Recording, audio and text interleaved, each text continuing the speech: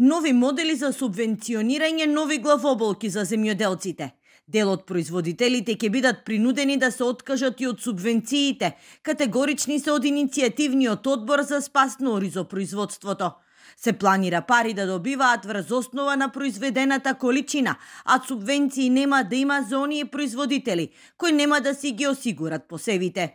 За да добиете субвенција мора да го осигурате производството За житните култури кај јачминот и пченицата мора да биде семенски материјал и најмалку 400 кг да имате производство, а хектар површина. Значи, кај нас тоа тешко ќе ќе биде. Стручно лице мора да да имате платено за да може да бидете субвенции и згоран тоа да бидат осигурани површините. Е, сега тоа се мерки што земјоделецот не може да ги издржи и тука не може да да имаме ние во тој дел меѓутоа ќе се откажеме од субвенции. Високите цени на репроматеријалите, а ниската откупна цена на производството е причина за многу земјоделци се откажат од нови сеидби.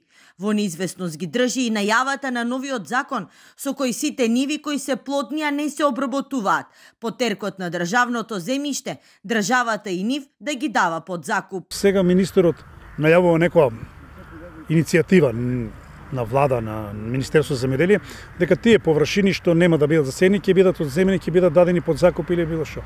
Нашите површини не се во државна собственост за да ги дадеме ние на државата во да, да они стопнисуваат или да ги дават под закуп. Како позитивна работа ја издвојуваат авансната исплата на субвенциите, барање што земјоделците речиси на сите протести го доставуваат до власта.